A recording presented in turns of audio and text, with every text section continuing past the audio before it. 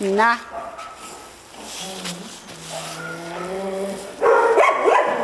Nein.